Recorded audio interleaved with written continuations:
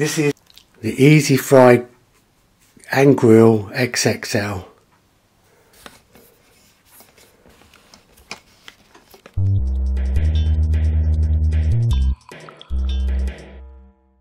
So here's a Tefal air fry grill I'm upgrading from the microwave combi oven. Some of you may have already seen the Panasonic combination oven. This is a microwave at 1000 watts and then we've got the quartz grill at 1300 watts and the convection oven which is just over 2000 watts. So the air fryer is going to be using slightly less power so let's talk about that. Now, don't forget to take off all the stuff that came with it.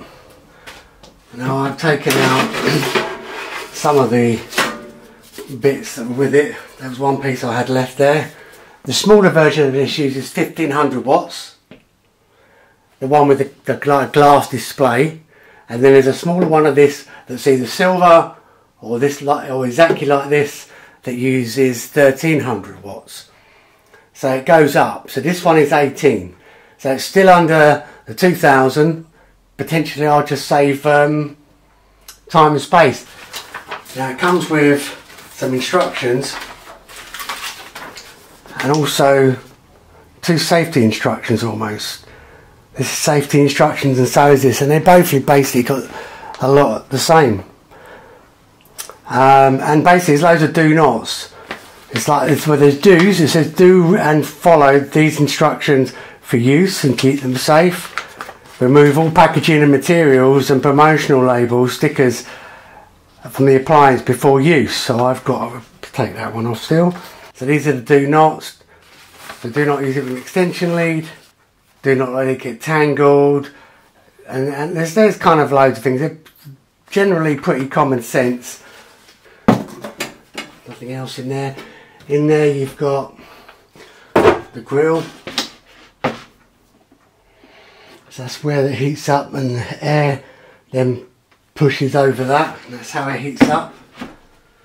This is the Tefal XL. Comes with the grill. So you push it in this side and then at the front you push it down on those rubbers and it grips it. It might be to go both ways. I'll have to try that. And then you've got the divider which splits it up. And this device will actually let you do air in each one. And then we get how to use it which is what I'm gonna potentially show you how. But you so you've got the grill. When there's a grill button. We'll get it powered up yeah? So I've just plugged it in. And what we got got a start and stop.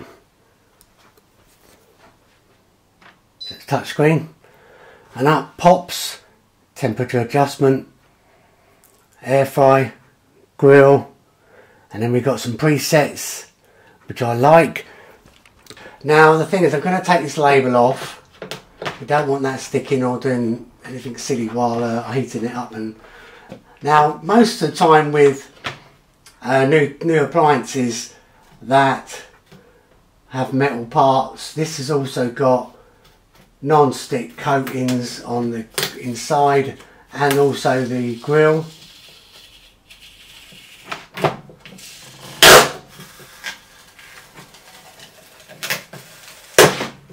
Now that's awful, isn't it? Look at that, all that sticky stuff left. They could at least put decent stickers on, couldn't they? That you peel off and there's no issue.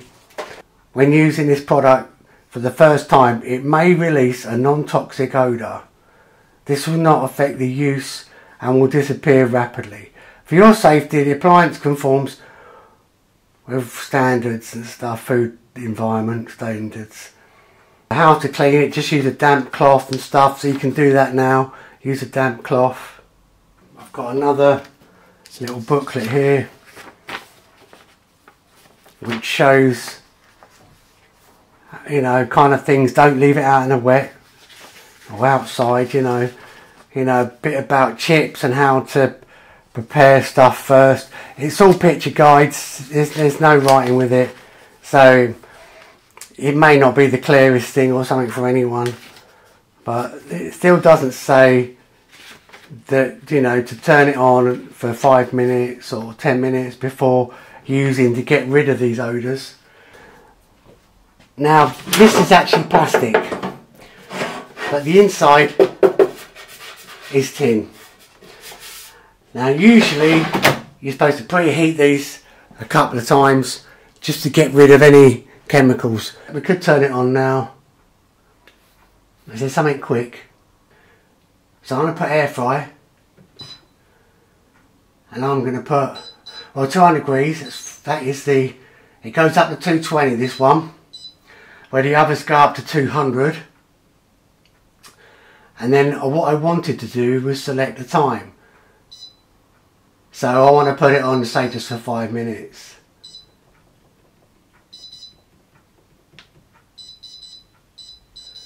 Taking a lot of tapping to get that down to five minutes. Well, I've got five. And now I want to press start. I'm hoping it's not going to stop it. Right, on it goes. Okay, it's reached the time. Little audible uh, signal, just like you would get on a microwave. Now, yeah, it's, it's a little bit warm. That's cold, and there is hot air coming out the back. Okay. Um, otherwise, I like that little audible alarm. It's good. A little bit quiet. It wasn't much of a bleep. wasn't as loud as my um, microwave. And the other thing, there was a bit of smell. So I'm hoping this doing this will help clear it a bit. Don't touch anything. It's obviously hot. And I want to mention one other thing about this. Some people in the reviews have said these are very noisy. That is quieter than my microwave. I've got no problems with the noise of that at all. It's quiet.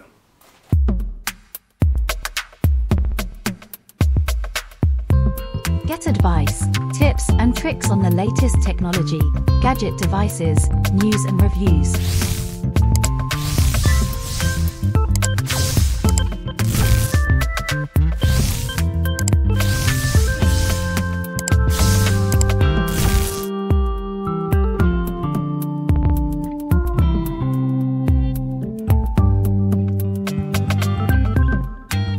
Get technical support on the latest technology, gadget devices, computer laptops, 4K smart televisions, home entertainment solutions.